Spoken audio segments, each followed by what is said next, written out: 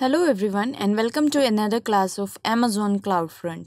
In our previous class we have discussed about the introduction of CloudFront. So today in this class we are going to discuss about next that means how regional caches why it stores the user content close to the viewers. So CloudFront regional edge location edge caches that means we have edge locations in those edge location we have edge cache caches. So why there is a requirement of storing data as a cache in a edge locations? Because it will bring cache will bring the data very close to the viewers or the users. So it also that means edge location also store no not so popular content so this help, helps to improve performance for viewers because it lowers the operational burden and cost of scaling the original resources. Suppose if original uh, resources are at a distance apart. So we have created an edge location over here so that it will be near to the user and user can access. If we have some frequently accessed data so edge location will store in the cache so that origin. That means this is the origin server where we have stored our data. So that's why it saves data. It also stores not so important data in a CloudFront edge locations. So this feature will help with all type of content. That means which will become less popular over time or not. So what are the examples? Examples include like user generated content such as any video photos or any artwork we have any e-commerce asset like product photos and videos and also we have some news and event related content. So cache will store each and every type of content in it in edge location. So what are the features of cloudfront regional edge? So there is no need to make any or uh, changes to the cloudfront distribution regional edge caches. So these are always enabled by default for all CloudFront, CloudFront distributions. And also there is no additional charge as we can see. For example, a cache invalidation request removes an object from edge cache before it expires. That means if we want to expire, so we can have remove an object from both edge cache and regional edge cache before it expires.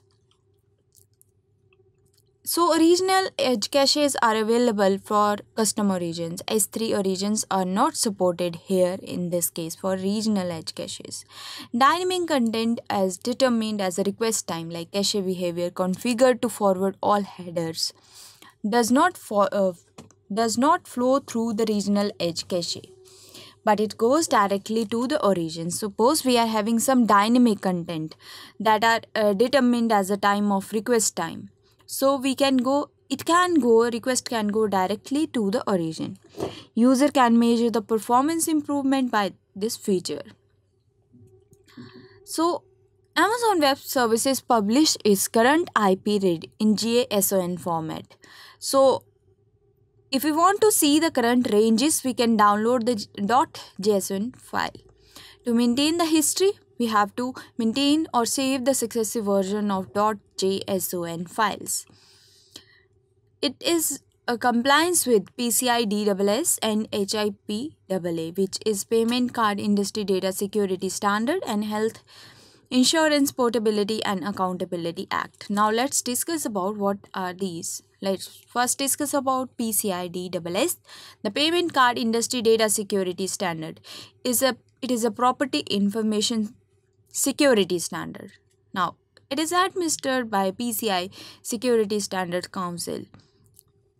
So, it discovers financial services, international MasterCard worldwide and Visa etc.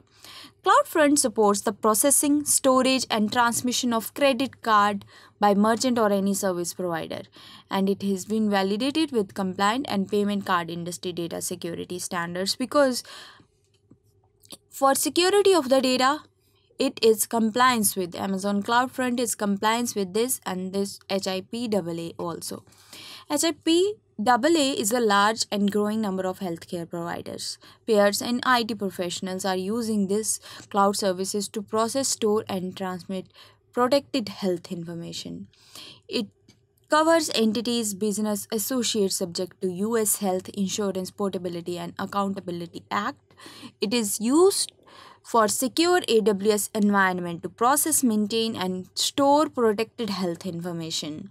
So as we are transferring our information either our payment or card information or any health information. So that's why Amazon CloudFront is compliance with both these standards for data security.